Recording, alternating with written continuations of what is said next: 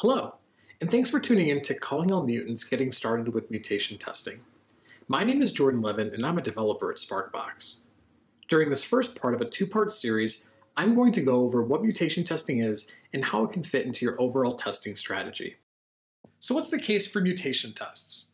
Well, instead of describing what it is right now, let's quickly go over the type of problem that it solves. Let's say that I want to check that my refrigerator is cold enough. To do that, I'll test that the temperature is 40 degrees. So I grab my thermometer and I see what the temperature is. Currently, it, it's sitting at 40 degrees. But how do I know that I'm testing enough? What if my test with the thermometer isn't comprehensive enough of a check? So I decide to leave the refrigerator door open for an hour with the expectation that if I do, my thermometer should read a temperature above 40 degrees. But after an hour, it still reads 40 degrees. This means I need to change my testing strategy. By checking that my thermometer wasn't giving me a false positive in a passing test, I've conducted a type of mutation test. It demonstrated that my initial testing strategy wasn't comprehensive enough since my test didn't fail when it should. So how does this apply to code? Well, let's get started by creating a function that returns the difference of two integers x and y. I create the file getDifference.js that contains a simple function by the same name. And because we want to make sure it does what it's supposed to do, we test it. We write unit tests that assert expectations against our code.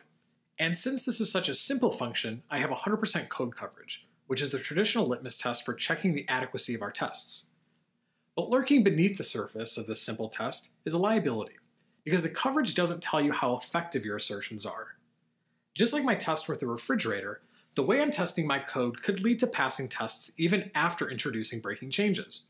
In some cases, I can fundamentally change the logic of my code and still get a passing test.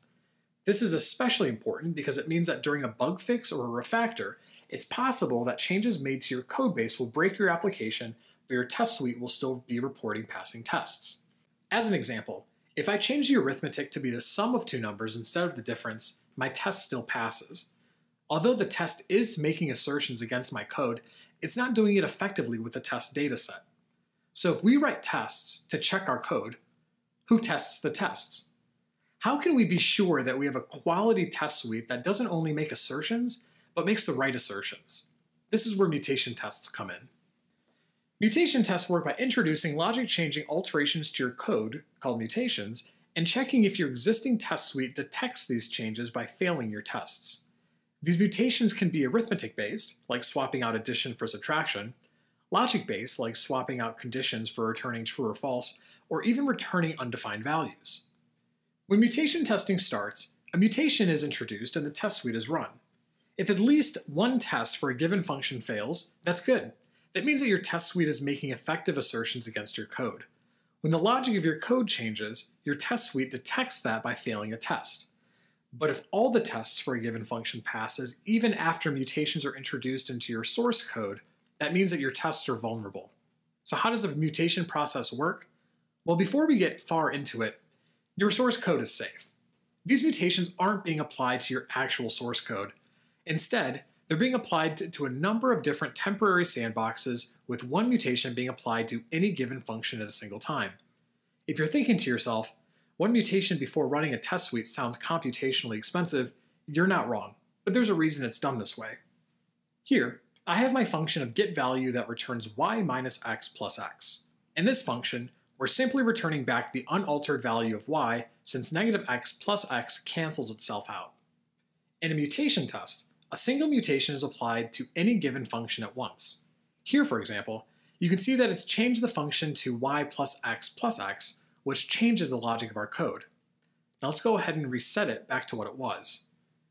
Now instead of applying a single mutation, let's apply 2. Instead of y minus x plus x, we're now calculating y plus x minus x, which carries the same logic as the original unmutated function. In both instances, x is cancelled out. Even though we've applied mutations to our code, we haven't actually changed the logic of it.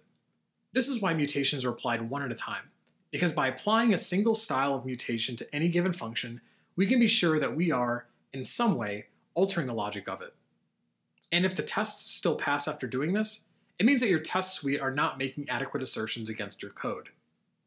And this idea of making adequate assertions is important and illuminates why code coverage by itself isn't enough. Now, don't get me wrong, code coverage is great. It tells us what code has run during the course of a unit test. It measures distance.